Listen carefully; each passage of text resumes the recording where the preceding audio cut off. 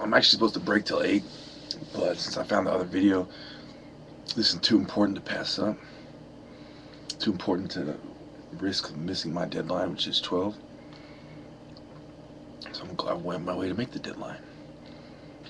Um,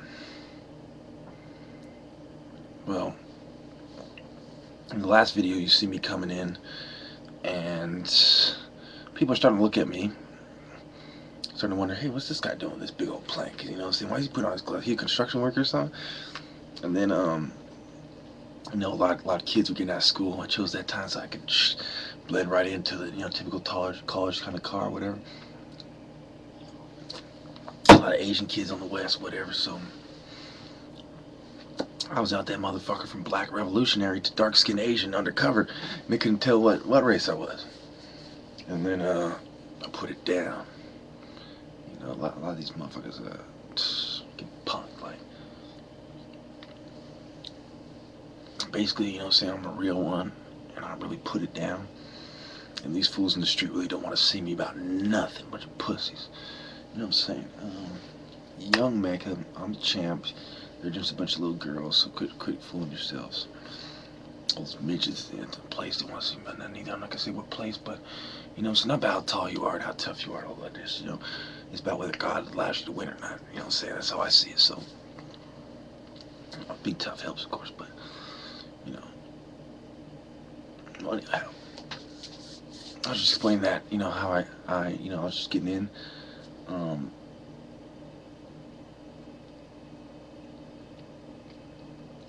when I, I end up going there, right, there's like a garbage can. I don't know if you can see one of the videos. There's like a garbage can at the end of the sidewalk. You know, on the same kind of sit by, like kind of parallel to um, that that cop car. So I go over there and I put the sign right in the trash. Ching. You see the sign facing right toward the people. a bunch of cops pull up the sign. They wait till I leave, and they probably remove the sign after I leave because they want they want to cause a scene. And you know, I put it down. They even had a fucking like a, a red pickup truck roll up. I think the purpose of that was they're gonna take the sign in um, as evidence, some as evidence of a of a demonstration or something. I don't fucking know. It's the FBI on my nuts. You know to do it, man. Come straight up. Um, no, we do it, man. You know, they do it like this, and they do it like this, and some do it like this. You know what I'm saying? I'm young Beckham. So, you know what I'm saying? I do it however I want, but when it comes to being a revolutionary, that's what it's about, man. Don't you don't have to go catch a fade. I, I go to my enemies' hoods, man. I didn't go to any black neighborhoods. Today was about the black people, man. Today was about the black. I went to all the enemies of the black neighborhood. Drove by the scrapper hood. They didn't want none. Went to the Norteño hood that I had funk with. Not not to the ones that I got love for, like you know what I'm saying, Frisco and whatnot, and Hayward and you know Oakland. You know, I went to the ones I got funk with. You know, what I'm saying small town nobodies. I said, nigga, you's a buster. Get their hood. You know what I'm saying? We're just doing it like, you know, seeing a real Igbo soldier just putting it down. You know what I'm saying? I Clean up the motherfucker. You know what I'm saying? We used to, I used to be friends with motherfucker, a lot of the motherfuckers too, but they're all weak. They're all like pumping weights, trying to get bigger. But they're all of. I'm not gonna get it. But uh, so I, you know, we talked about a lot of these. Uh, to 140,000, 12,000 from each tribe. You know what I'm saying?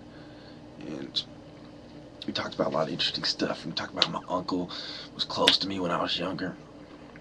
And how it's the food, you know, they're trying to control your mind.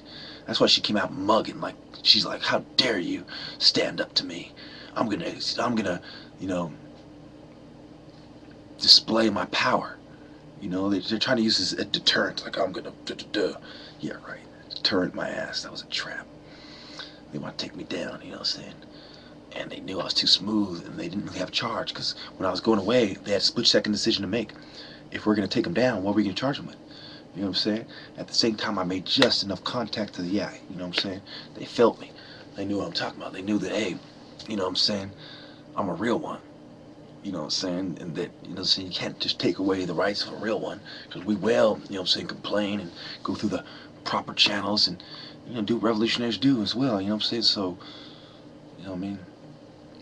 I had my little peaceful protest and had my little victory. You know, smile for once in a long time. I actually feel like she gave we we done did it. You know what I'm saying? We did it. We beat the white man today. You know, what I mean, if it's just for one battle, it's just one day.